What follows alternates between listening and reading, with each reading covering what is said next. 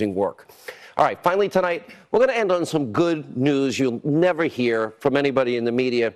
Despite what I describe as the five forces that have been working to defeat this president, one to prevent him from getting elected, then to delegitimize him and get him thrown out of office, you have the media, you have the never Trumpers, you have weak establishment Republicans, you have Democrats, and of course the deep state.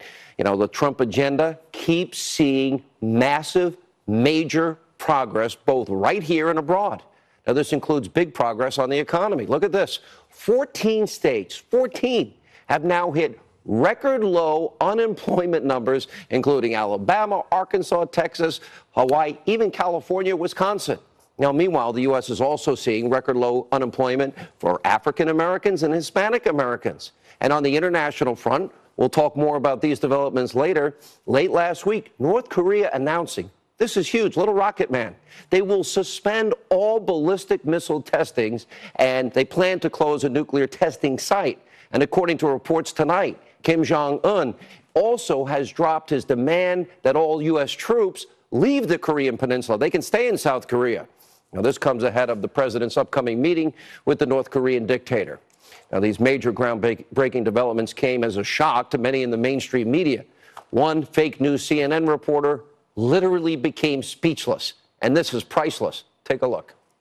Kim Jong un saying North Korea no longer needs any nuclear tests mid-range and intercontinental ballistic missile tests, and he's saying that the nuclear test site uh, in the northern area near the Chinese border uh, at Punggye-ri has completed its mission, therefore will likely be closed. This is an extraordinarily significant development and, frankly, a huge win for President Trump. I am really uh, almost speechless here at the pace at which North Korea has done this U-turn.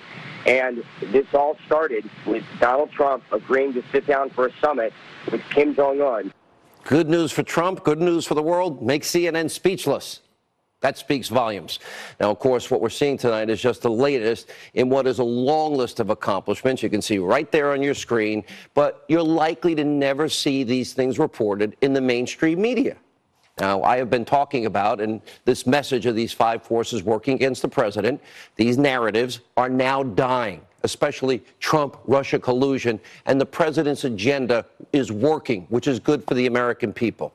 Here's my final word tonight it's time to put this hatred, this obsessive compulsive hatred in the media, in the deep state, in the Democratic Party aside. Work for the American people work for a more peaceful, prosperous America and the world, maybe we'll actually get along.